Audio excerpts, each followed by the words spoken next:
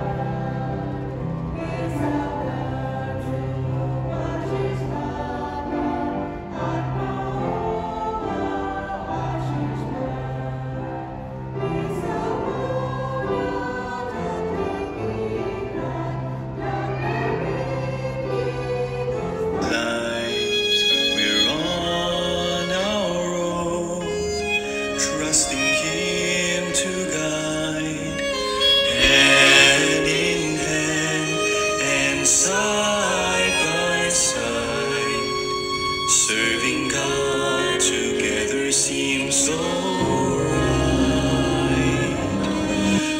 let's go on this journey, this journey with God. Let us praise Him together, serving as one. Let us look.